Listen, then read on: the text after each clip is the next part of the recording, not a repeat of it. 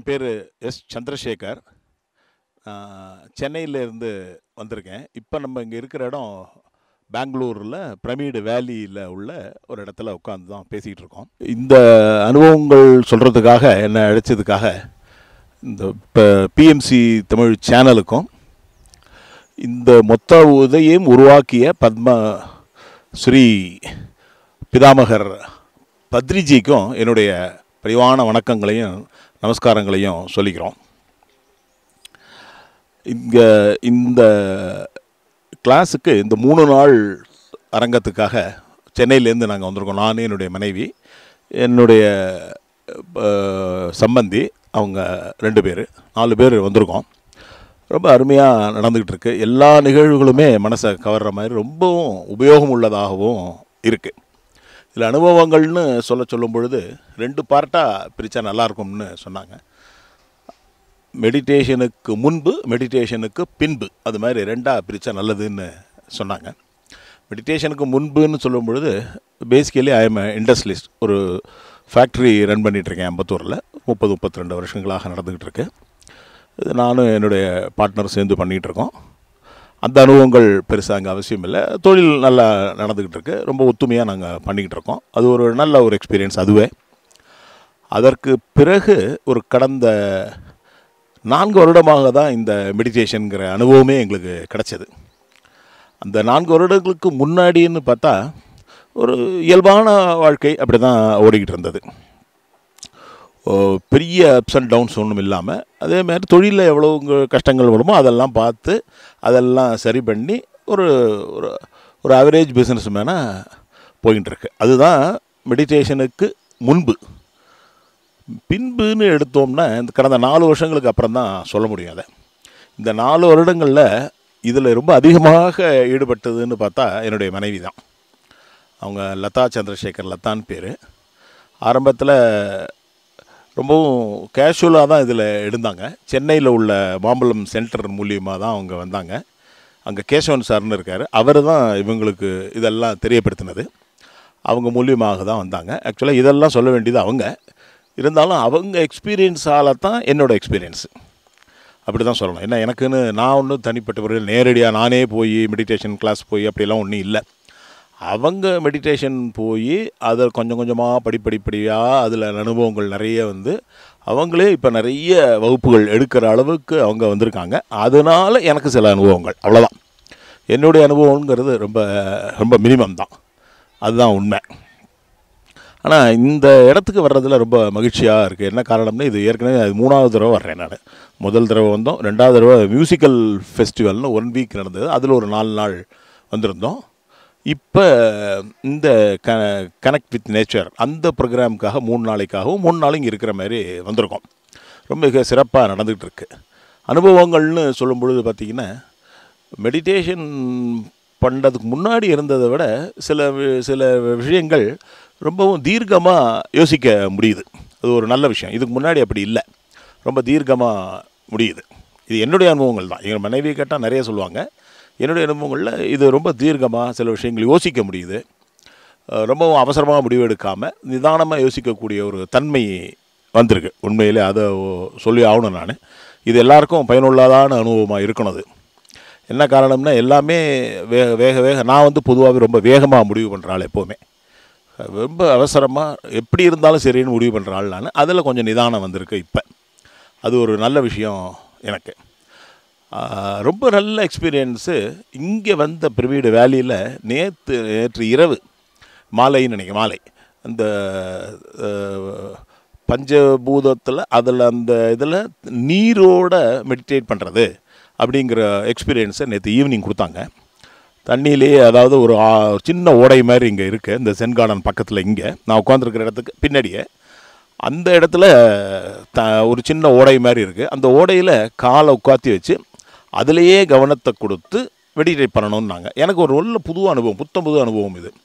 இதுக்கு முன்னாடியெல்லாம் அனுபவம் எப்படி இருக்கும்னா பிரமிடு கீழே உட்காந்துருப்போம் வீட்டில் ஒரு சின்ன பிரமிடு இருக்குது அதில் உட்காந்துருப்போம் மியூசிக் போட்டுட்டு உட்காந்துருப்போம் இப்படி தான் என்னுடைய அனுபவம். ஆனால் இந்த ட்ரிப்பு தண்ணியில் காலை வச்சுக்கிட்டு அதுவும் த அதுலேயே அந்த தண்ணியோட சலசலப்பு சத்தம் அதில் வர்ற பூக்கள் காலில் வந்து அந்த அந்த அந்த உணர்கிற ஒரு உணர்வு இது மாதிரி எல்லாம் உள்ள எக்ஸ்பீரியன்ஸு எனக்கு ரொம்ப பூசாக இருந்தது. அஃப்கோர்ஸ் இங்கே உள்ள பல பேருக்கு பூசாக இருந்திருக்கும். நான் என்னுடைய அனுபவங்கிறதுனால ரொம்ப உற்சாகமாக இருந்தது. நான் இதுக்கு முன்னாடி இத்தனை காலம் பண்ண மெடிடேஷனை விட இது ரொம்ப சிறப்பாக இருந்தது. இது மிகச் சிறப்பாக இருந்தது. நான் ஒரு நாற்பது நிமிஷம் சொன்னதில் ஒரு முப்பது முப்பத்தஞ்சு நிமிஷம் கம்ப்ளீட்டாகவே தியான நிலைமையிலே இருந்தேன். எனக்கு இதுதான் முதல் எக்ஸ்பீரியன்ஸ் அது மாதிரி. ரொம்ப ஆச்சரியமான விஷயந்தான் அது. அப்படி நடக்கும்னு நான் எதிர்பார்க்கல. இப்போ இப்போ மெடிடேட் பண்ணாலும் டிவியேட் ஆகும். இப்படி இருந்தாலும் போகும் திரும்பி உள்ளே வரும். போகும் உள்ளே வரும். அப்படி தான் இருந்தது. ஆனால் நேற்று நடந்ததில் ஒரு முப்பது நிமிஷங்களுக்கு மேலாக மிகச் சிறப்பான அனுபவங்கள் உண்மையிலே. நல்லா அனுபவித்து நானே அதில் உணர்ந்தேன் அதை. முடிஞ்ச பிறகு ஒரு அஞ்சு நிமிஷம் அந்த நீர் அலைகளை நீரை பார்த்துக்கிட்டே நீர் அந்த தண்ணீர் தண்ணீர் ஓடுற விதம் தண்ணியில் போகிற பூக்கள் அந்த சின்ன சின்ன செருகுகள் அதெல்லாம் வரும். அதெல்லாம் அனுபவித்து அதை பார்த்துக்கிட்டே இருக்கணும்னு சொன்னாங்க. ரொம்ப சிறப்பாக இருந்தது. ரொம்ப ரொம்ப நல்லா இருந்தது. அந்த அனுபவம் உண்மையிலே ஷேர் பண்ண வேண்டிய அனுபவம்.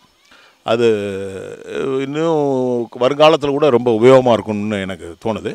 அந்த தியானத்து மேலே இன்னும் அதிக நம்பிக்கை வந்திருக்கு. ஏற்கனவே உள்ள நம்பிக்கையை விட ஒரு மடங்கு கூட்டியிருக்கு அந்த நேற்று நடந்த நிகழ்வுகள்.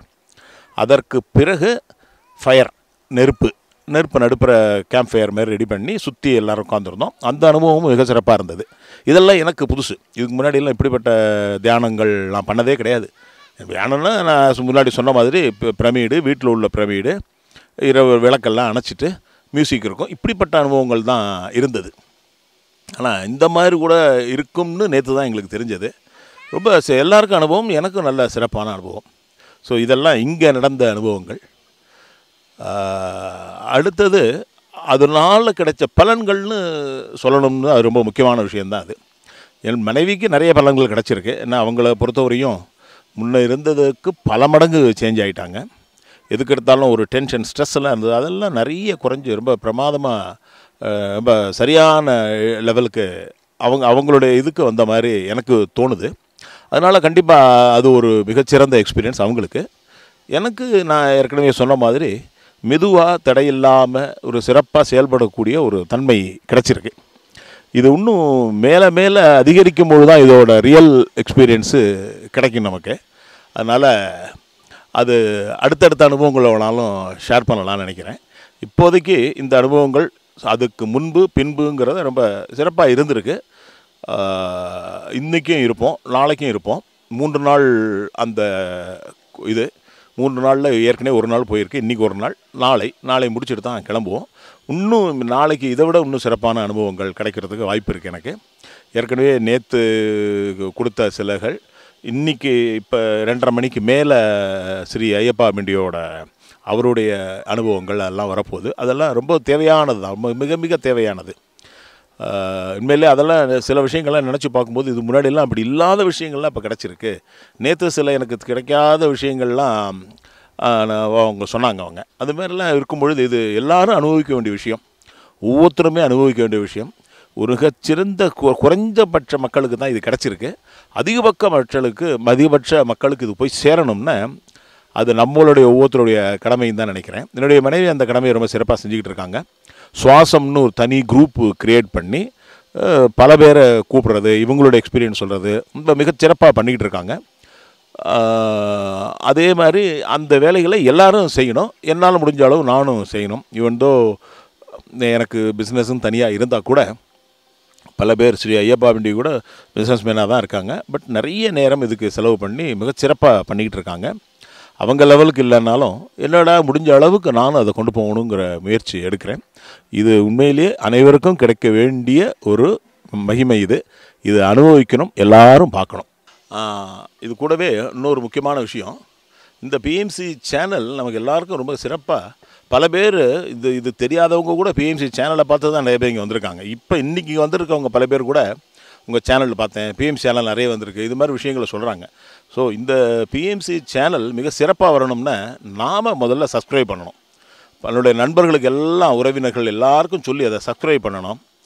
அந்த பெல்லு அதை ரிங் பண்ணணும்.